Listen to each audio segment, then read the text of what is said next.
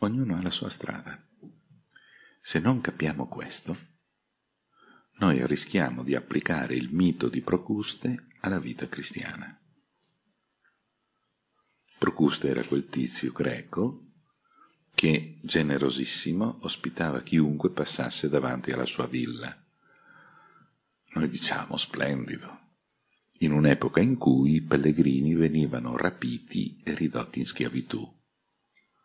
Lui invece li prendeva, lavava, vestiva, banchetto, nanna, e il giorno dopo potevano ripartire. Ma se ci riuscivano. Perché quando andava, li portava a dormire, lui aveva una sega in mano e aveva delle corde, perché se il letto era più grande dell'ospite, prendeva l'ospite e lo allungava perché doveva essere grande tanto quanto il letto. E se l'ospite esorbitava dal letto, questo è il letto di Procuste. È il letto che è importante, non chi ci dorme sopra. Quindi o o zac. Nella vita cristiana, nella testimonianza cristiana, noi rischiamo di fare questo. Mentre invece ognuno ha il suo cammino. E perciò bisogna rispettare il cammino della persona. Ma Don Renato, quello è un cammino pieno di peccato, sbagliato, non si può permettere che la persona viva così. Tu ti dai una calmata, e pensi al buon ladrone. Se lui non avesse fatto la vita che aveva fatto in precedenza, totalmente sbagliata, totalmente sbagliata, lui non avrebbe incontrato Gesù Cristo e non avremmo il primo santo della Chiesa. Sì o sì? Ecco perché bisogna rispettare la persona anche quando sbaglia. Tu lo avvisi e lì ti fermi. Tu lo avvisi, perché Gesù dice se qualcuno sbaglia, tra te e lui solo. Noi invece prima spopoliamo la persona con tutti e poi se ci capita a tiro glielo diciamo personalmente. Il Vangelo dice esattamente se uno sbaglia, prima personalmente, poi con alcuni amici, poi lo dici alla comunità. Noi invece che siamo occidentali sbrigativi, subito alla comunità, senza tante storie, saltiamo tutti i passaggi, male. Cosa facevano? 11 chilometri Prendete un compasso, la carta geografica, fate un cerchio di 11 km e trovate una città, una cittadina soltanto che si chiama El Kubeibe. Oggi andate ad El Kubeibe, oggi non andate più, neanche se avete i piedi d'oro, perché come arriva il pullman siete oggetti di una sassaiola imperdonabile L'ultima volta che io sono stato al Kubaby mi, mi è costato 700.000 lire.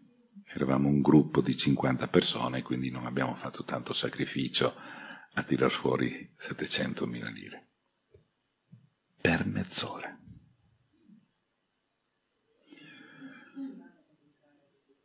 per entrare in questo villaggio dove c'è una chiesa tenuta dai francescani che custodisce ancora un tratto della strada.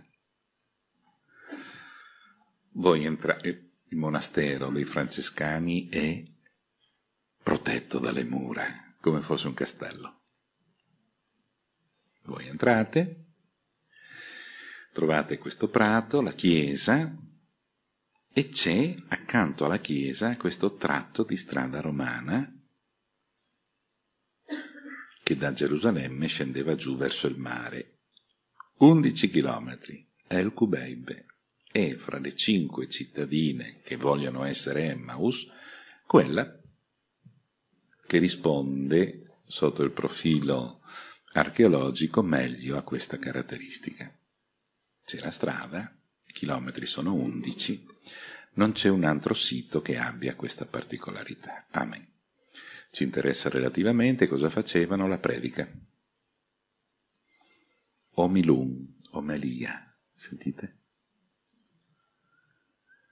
L'omelia vuol dire conversare familiarmente.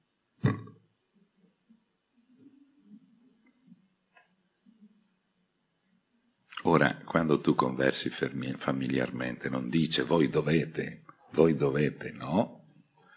Conversare familiarmente vuol dire spiegare, dare motivazione e poi ognuno è maturo, prende le decisioni che crede. Dunque, facevano l'omelia tra di loro di tutto quello che era accaduto, pettegolezzo, tanto per essere schietti. La cosa interessante è che si aggiunge un terzo, ma i loro occhi erano impediti a riconoscerlo. Allora si aprirono i loro occhi. Allora tutto quanto il brano, anche se poi non viene più fuori la parola occhio, è giocato su questa apertura. Dagli occhi chiusi, impediti a riconoscerlo, fino a si aprirono i loro occhi. Qual è il cammino che questi fanno? Noi diciamo, è chiaro, quello da Gerusalemme a Emmaus. Materialmente questo è il cammino. Ma quando voi leggete un autore orientale, non dovete leggerlo come Corriere della Sera. Corriere della Sera è scritto da occidentali per occidentali, questo è un orientale, non dimenticatelo. Il cammino che loro fanno è il cammino dell'apertura degli occhi. E quindi tutto ciò che viene narrato ha come sbocco questo. Quindi il passaggio da un non vedere a un vedere. Provate ad analizzare come avviene questo passaggio. Vi dirò una cattiveria. Vediamo se ve l'ho messa perché... Sì. In Marco capitolo 16 versetto 12 è l'ultimo capitolo di Marco, è il capitolo in cui si parla della risurrezione e dei fatti successivi. Marco, in una battuta fulminante, ad essere onesti non è Marco ma è Aristione perché fa parte del brano cosiddetto ispirato, non autentico, ma canonico. Chi ci ha capito qualcosa me lo dica. Dopo questo apparve sotto altro aspetto a due di loro mentre erano in cammino verso la campagna. Marco accenna a Emmaus in questo modo. Però la cosa interessante è en etera morfe, tradotto molto bene sotto altro aspetto. Morfe vuol dire forma. La morfologia di un terreno è la forma del terreno. Quindi Gesù non aveva la stessa fisionomia del Gesù storico. È per questo che i nostri amici non lo conoscono. Da che cosa lo conoscono? Tutta la narrazione dice che lo conoscono dalle parole e dai gesti.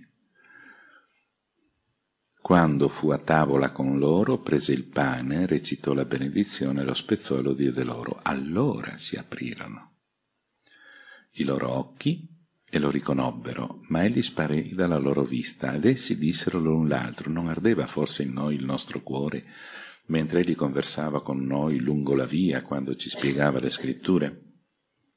Questo è un dato molto interessante. Cristo risorto, tu non lo conosci perché lo vedi. Maria Maddalena l'ha visto era innamoratissima di lui, Provanessia, che gli salta addosso e Gesù gli dice, va bene, abbiamo altro da fare. È gentilissimo. Lui le permette di fare il gesto, ma non permette che questo gesto continui. Tradotto in italiano, non mi trattenere. Vabbè, ho già pensato che quando sarò vecchio avrò tanto lavoro da fare. Come se adesso non fossi già vecchio, ma sono ancora al lavoro, non mi hanno mandato in pensione purtroppo. Perché noi preti andiamo in pensione? Quindi non abbiamo nessuna paura delle leggi dello Stato che rimandano continuamente l'età pensionabile perché prima di arrivare ai 75 anni, ragazzi, eh? si arriva, si arriva, ma prima che lo Stato dica si va in pensione a 75 anni, penso che dovremmo aspettare almeno altre due generazioni. Dunque, il Cristo risorto lo si conosce attraverso la parola e attraverso il gesto. Che tipo di gesto? Io qui ho cercato di essere sintetico come con, si fa con i bambini, così ho fatto anch'io. Ieri notte quando preparavo la scheda mi sono divertito.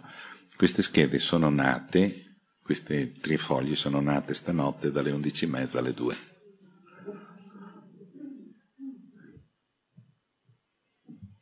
Alla moltiplicazione dei pani, Luca come descrive il gesto di Gesù?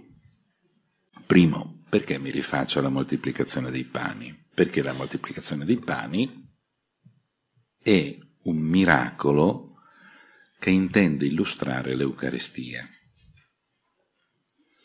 Questo lo conosciamo meglio da Giovanni capitolo 6. Gesù fa il miracolo della moltiplicazione dei pani e subito dopo in sinagoga discute sull'Eucarestia. Prese i cinque pani, vedete in rosso. Nell'ultima cena, anche lì prese il pane e a Emmaus prese il pane. Notate? Primo gesto è uguale dappertutto. Poi c'è, recitò su di essi la benedizione. Rese grazie. Voi dite, è diverso. Io vi dico, è la stessa cosa. Perché? Perché questo rese grazie è greco. In ebraico non esiste un verbo che indichi render grazie. Non c'è il verbo ringraziare. Non c'è la parola grazie. E allora per ringraziare cosa facevano? Per esprimere la riconoscenza e un sentimento umano, benedicevano, cioè narravano solennemente. Narrare solennemente significa benedire, che vuol dire manifestare riconoscenza. Ho bisogno di un caffè, tu mi paghi un caffè, io dico ai presenti al bar, guardate, avevo bisogno di un caffè e lui me l'ha offerto. Questo narrare in Oriente si dice lodare, perché siamo in un ambiente profano, il bar. Ma se questa narrazione avviene in un luogo sacro, si dice benedire. Se avviene durante una celebrazione, si dice glorificare. È sempre lo stesso gesto fatto in ambito profano, in ambito sacro, in ambito celebrativo. Sono i tre passaggi, ma è sempre esprimere riconoscenza. Quindi, recitare su di essi la benedizione, questa è la dicitura semitica, così parlavano gli ebrei. Rendere grazie, così parlavano i greci. E Luca scrive per dei greci convertiti al cristianesimo. E quindi, quando si tratta di narrare l'avvenimento della moltiplicazione dei pani, lui prende la tradizione aramaica e la riporta, ma quando si tratta di parlare dell'Eucarestia, Luca non fa altro che descrivere la messa che celebrava. Quando lui riporta le parole dell'ultima cena, dice, scrive le parole che lui diceva quando celebrava con i suoi cristiani. E i suoi cristiani sono di lingua greca e quindi lui adoperava il verbo eucaristeo, non il verbo eulogeo, perché quello è traduzione dall'aramaico, questo è greco puro. Vabbè. Recitò la benedizione Emmaus, che vuol dire che Luca eredita dalla tradizione della Chiesa nascente il racconto in aramaico. E allora ha la parola benedizione. Questo invece è lui che lo compone, semplicemente riportando le parole della celebrazione della messa, che lui celebrava, al quale lui assisteva, chi lo sa. Poi c'è il gesto dello spezzare, Ultima cena, Emmaus. Dava i pani ai discepoli, moltiplicazione dei pani, diede loro ultima cena, lo diede loro Emmaus. Cosa notate? I biblisti hanno ragione?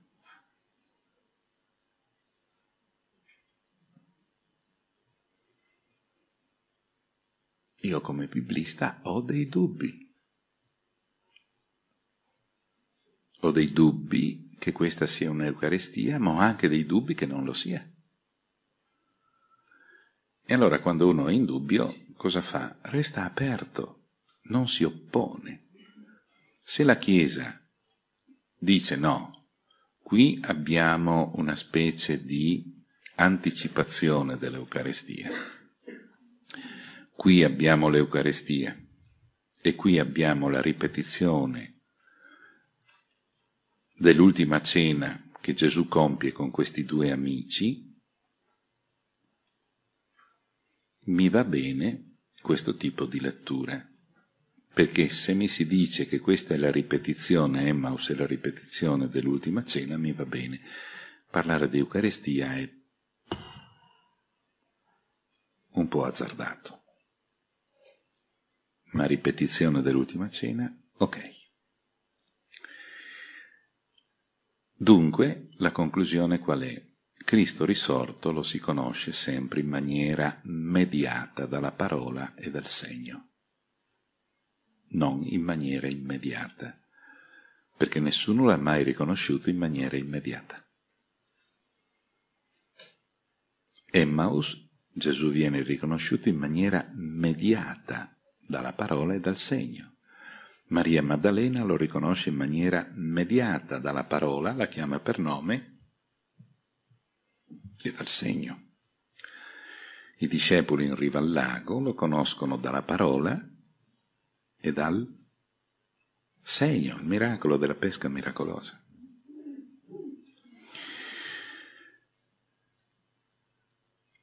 Il resto lo faremo in paradiso, sono le 12 e 32 minuti. Basta? Basta, basta, basta. C'era ancora un po' di cose, ma pazienza.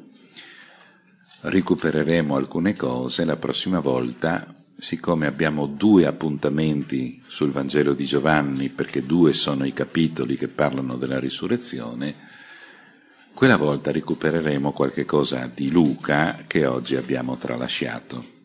Grazie, buona domenica.